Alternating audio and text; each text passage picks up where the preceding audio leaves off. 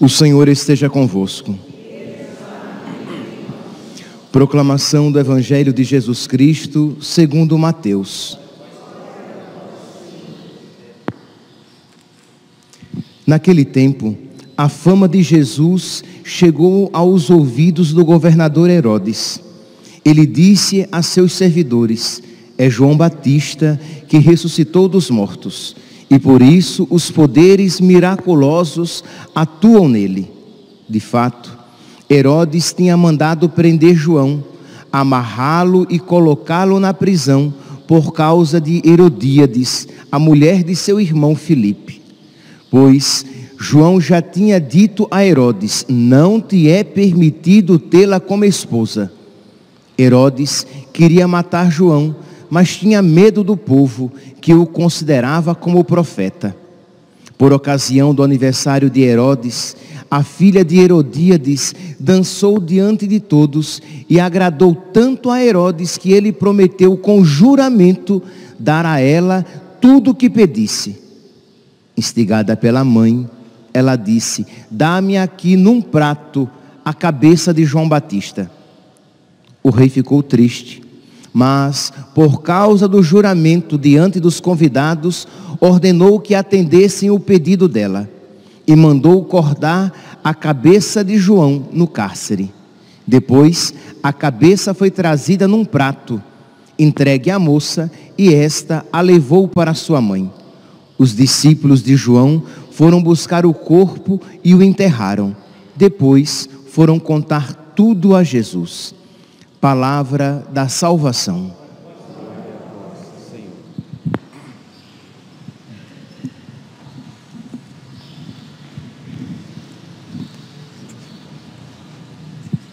Caríssimos irmãos e irmãs, nós continuamos aqui com a leitura do profeta Jeremias.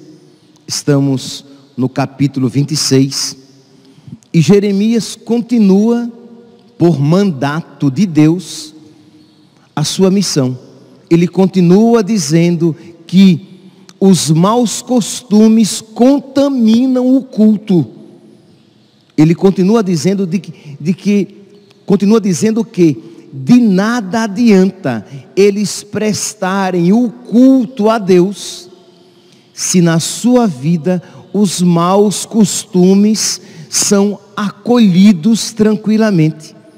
Então, os maus costumes, eles destroem, eles desvalorizam o culto, que a prática religiosa, ela não cobre, ela não sana, não sara uma má vida.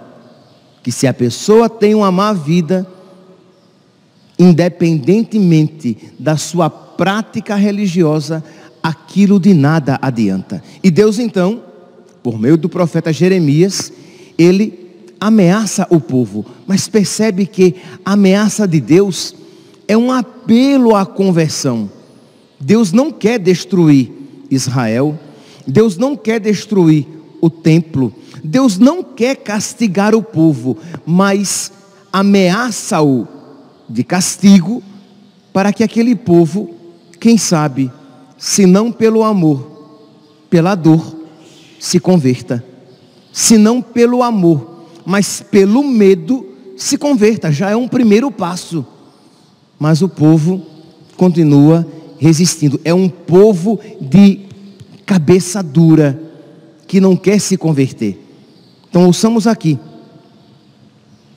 Naqueles dias, os sacerdotes e profetas dirigiram-se aos chefes do povo querendo a morte de Jeremias. E por que é que ele queria que os chefes, que os profetas e os sacerdotes mentirosos, por que é que eles queriam a morte de Jeremias? Porque Jeremias dizia uma verdade incômoda. Lembra que de uma maneira digamos, perfeita, aconteceu com nosso Senhor, o justo que era perseguido por causa da sua justiça. Queriam matar Jesus e Jesus pergunta: Por qual obra vós quereis me, me matar? Então Jeremias aqui poderia perguntar: Por que, que vocês querem que eu morra? Por quê? Porque ele está dizendo a verdade. Porque ele está proclamando de uma maneira clara e incisiva a verdade. Jeremias não está dizendo a verdade de uma maneira dúbia, de uma maneira nebulosa. Sim, porque os covardes, transvestidos de corajosos, dizem a verdade de uma maneira dúbia, de uma maneira nublada, de modo que fica sempre a dúvida: mas será que ele disse isso ou disse aquilo? Será que foi dito isso ou aquilo? Por quê? Porque a mensagem foi dita de uma maneira duvidosa. Mas não.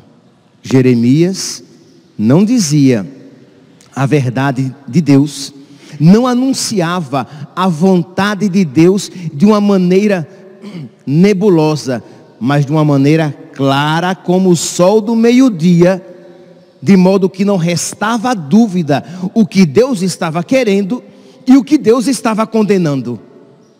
E isso, meus santos, deve ser uma realidade aplicada a nós, que o seu sim seja sim, que o seu não seja não. Isto vale para nós, sacerdotes, no púlpito, quando pregamos a verdade evangélica, pregá-la com clareza, chamando o pecado de pecado e não criando neologismos, novas palavras, politicamente corretas, para não ofender as sensibilidades apegadas ao pecado. Mas dizer com caridade, sim, mas com clareza. A clareza é caridade também. Mas isso, meus santos, não apenas nós, padres, no púlpito, mas também vocês, pais, na, ensinando e educando os seus filhos. Também você, catequista, ensinando, catequizando os seus catequizandos. Também você entre os seus amigos, sendo clara e obviamente cristão católico, sem medo e nem vergonha de vestir a camisa, de assumir-se católico, porque o mundo nem vergonha do pecado tem mais. Agora, bonito é apresentar-se pecador às claras. Se você assume uma vida de pecado para a mentalidade atual, o bonito é o que? É viver o pecado sem vergonha nenhuma, de uma, de uma maneira desavergonhada, enquanto os cristãos católicos querem viver a sua fé de uma maneira tímida, de uma maneira escondida, sem proclamar sem orgulho, mas com toda a gratidão a Deus, às claras a sua fé. Os filhos das trevas são muito mais astutos, são muito mais espertos nos seus negócios do que os ditos filhos da luz. Pois bem, então Jeremias, com toda a clareza, ele dizia a verdade e ele condenava o pecado e os maus sacerdotes e os maus profetas queriam a sua morte. Então, disse Jeremias, os chefes do povo chamaram-no, já que os sacerdotes e os profetas pediram-lhe a morte, os chefes do povo chamaram-no, e disse Jeremias aos dignatários e a todo o povo: O Senhor me incumbiu de profetizar para esta casa e para esta cidade, através de todas as palavras que eu disse. Isto é, olha, o que eu estou dizendo não é palavra minha, é palavra de Deus. O que eu estou ensinando não é um ensinamento criado na minha cabeça, inventado por mim, mas é um ensinamento que eu recebi de Deus e que todo pregador que todo sacerdote deveria ter essa autoridade de dizer: olha, o que eu estou pregando, a igreja prega há mais de dois mil anos. É uma verdade ensinada pela igreja há mais de dois mil anos, escrita na palavra de Deus, presente na tradição viva da igreja e no, no ensinamento dos papas ao longo dos dois mil anos e ensinamento este vivido pelos santos de mais de dois mil anos da única igreja de Cristo. Então nós não podemos hoje em dia mudar, subverter o ensinamento de mais de dois mil anos de Cristo, da igreja de Cristo, da única igreja de Cristo, para, para agradar a plateia. Porque as sensibilidades pecaminosas se melindram quando nós anunciamos o Evangelho. Então, precisamos, meus santos, ter essa coragem, mas esta coragem que coloca a própria fama e a própria vida em risco. Quem não quer perder nada, não anunciará o Evangelho. Quem está apegado a coisas ou pessoas e não disposto a renunciar, a renunciá-las, as coisas ou as pessoas, por causa de Cristo, nunca será um arauto da verdade, nunca será uma boca da verdade, mas será sempre uma, um hipócrita que, na verdade, se cultua a si mesmo, a sua imagem, a sua fama, a sua segurança, a sua vida aqui neste mundo. Que mas quem amar a sua vida neste mundo, vai perdê-la. Mas quem estiver disposto a perder a sua vida, vai ganhá-la por toda a eternidade. Jeremias, Santo Jeremias, que não conhecia esta frase de, de, de Jesus, a vivia profundamente. Ele amava mais a Deus do que a sua própria vida. Pois bem, então Jeremias diz: Olha, agora portanto, Tratai de emendar a vida e as obras.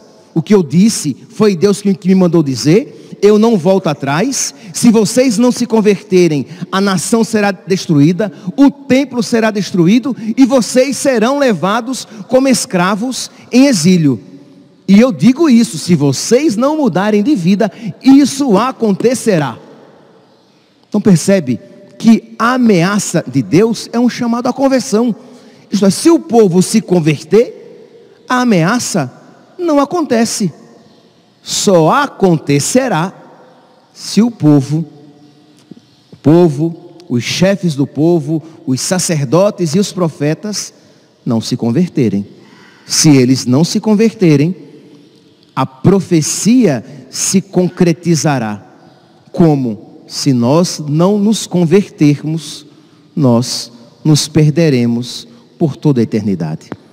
Diz então que, e Jeremias completa: E se vocês derramarem o meu sangue, o meu sangue clamará a Deus por justiça, por vingança. Diz que essa palavra abalou de tal maneira os chefes do povo, que os chefes disseram: Não, ele não deve morrer os chefes do povo, os sacerdotes e os profetas continuaram querendo a morte de Jeremias empedernidos em seu, em seu pecado, engastados, fincados, enraizados no seu pecado, não queriam mudar de vida.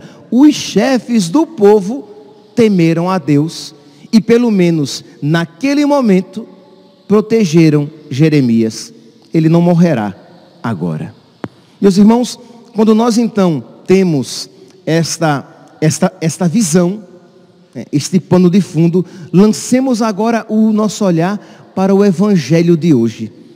Nós vemos Jesus falando a respeito da morte de João Batista. E por que foi que João Batista morreu? Porque João Batista falou, ensinou a verdade com clareza. João Batista diante de Herodes e Herodíades, que estavam adiojados, como se diz aqui na cultura cuiabana, ajuntados, João Batista diz: vocês não podem estar juntos, porque ela é mulher do seu irmão, Felipe. Percebe que aqui é um ensinamento já presente em Jesus, para depois dizerem que foi a igreja quem inventou que o casamento deve ser para sempre. Jesus está dizendo, Jesus que, que dirá, aqui nós estamos no capítulo 14, ele dirá depois, no capítulo 19, aqui João Batista, né, dizendo a Herodes, mas esse ensinamento é profundamente cristão, que Jesus dirá no capítulo 19: quem deixa sua mulher e se casa com outra, comete adultério. Quem deixa o seu marido e se casa com outro, comete adultério.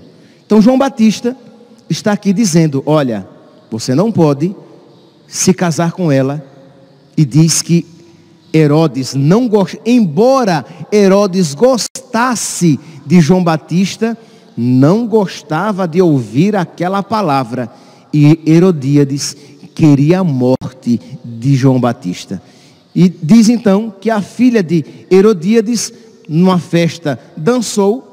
Herodes, cheio do álcool, bêbado, prometeu que daria a ela qualquer coisa. Quando a filha, né, quando a, moça que, que dançou, perguntou à mãe o que pedir, a mãe lhe deu este mau conselho: peça a cabeça de João Batista. E diz que quando Herodes ouviu este pedido, ele teve medo. Teve medo de quê? De sair feio na fotografia. Porque ele sabia que aquela promessa que ele havia feito foi uma promessa louca, que você não pode cumprir quando algo mal lhe é pedido, mas para ele não sair feio diante dos, dos cortesãos, diante da corte que estava ali reunida, ele resolve entregar a cabeça de João Batista. Herodes ama mais a si mesmo do que a verdade.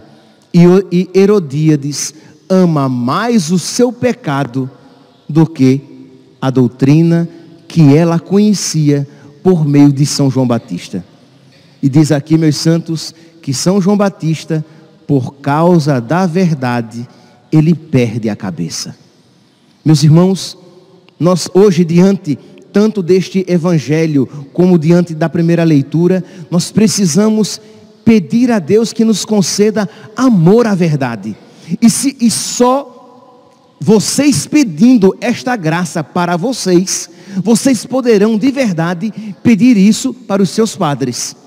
Porque senão o pedido de vocês será mentiroso, porque será muito fácil vocês pedirem, rezarem, intercederem pelos seus padres, pedindo que eles tenham coragem de anunciar a verdade, o evangelho completo, quando vocês, na vida própria e particular, vivem saindo pela tangente, porque não querem entrar em conflito com as outras pessoas. Porque vocês, quando estão entre os seus amigos e sai aquela conversinha que toda religião é boa, né? O que importa é ter uma religião. E você com cara de pastel não diz nada e diz: "É, é verdade. O que importa é ter uma religião." Quando você, se você é católico, você precisa com toda a caridade dizer: "Olhe, é verdade que, que entre não ter uma religião. E ter uma religião já é um passo ter uma religião, mas isso deve levar a Cristo e a sua verdadeira e única religião deixada aqui na terra, porque só há salvação no único nome, no nome de nosso Senhor, que é verdadeiramente, nome aqui é o que? É a pessoa de nosso Senhor, é a doutrina de, de nosso Senhor. Pois bem, nosso Senhor só pode ser verdadeiramente encontrado na sua única igreja, porque ele disse: Pedro, tu és pedra, e sobre esta pedra eu edificarei a minha igreja, a minha única igreja. Então, com toda a caridade, mas com toda a clareza. Mas não, você, covarde, sai pela tangente porque você quer evitar conflito. Aí depois você critica quando o seu padre é covarde também. Ou você piedosamente hipocritamente dobra os seus joelhos, pedindo que o seu padre seja um arauto da verdade, mas você é covarde. Como é que você pode pedir para o outro aquilo que você não quer para si? Entende? Então peça, peça a Deus a graça de desejar amar a verdade, de estar disposta, disposto a morrer pela verdade.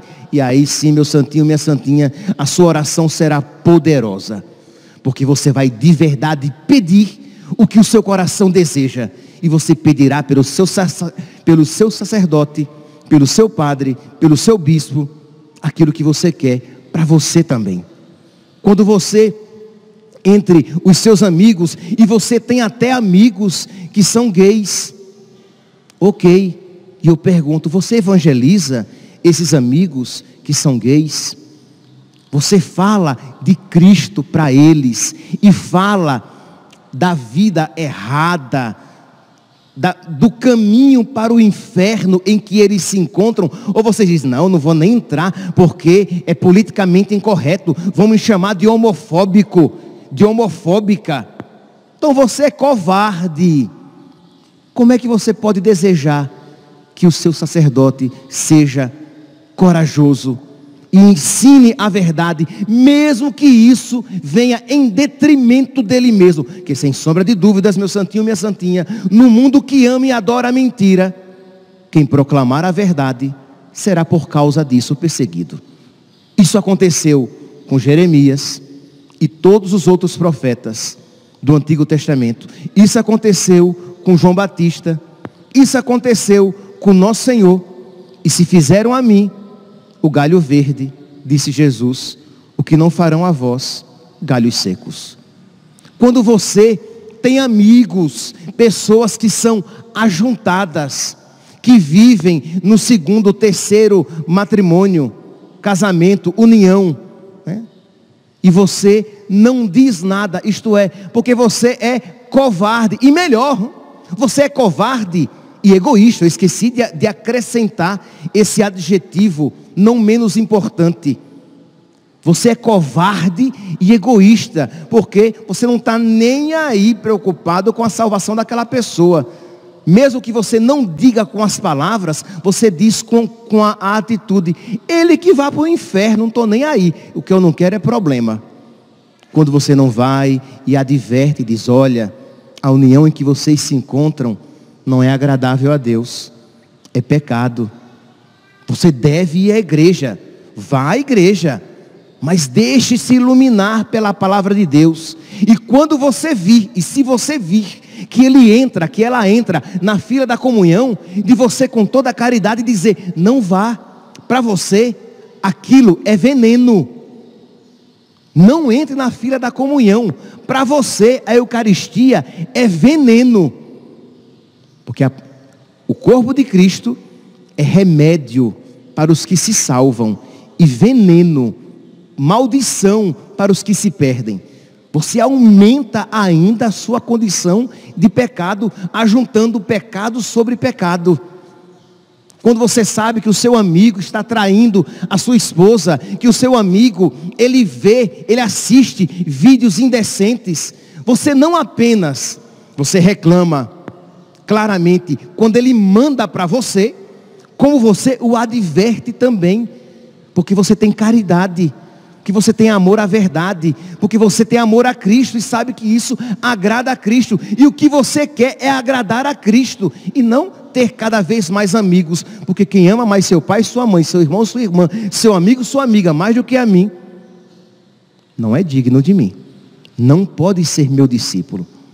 Percebe, meus santos? Ouvir esta palavra, ver a vida de Jeremias, ver a vida de João Batista, deve nos inspirar, deve fazer com que nós dobremos os nossos joelhos, ou abaixemos as nossas cabeças, curvemos-nos diante de Deus e lhe supliquemos a graça da coragem e da caridade.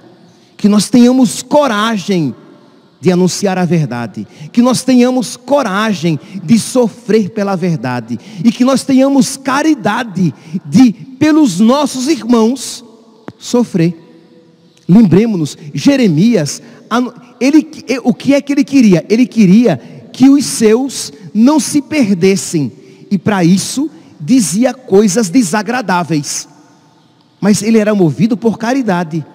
Às vezes o pai e a mãe, porque não querem desagradar o filho, não dizem o que ele precisa ouvir.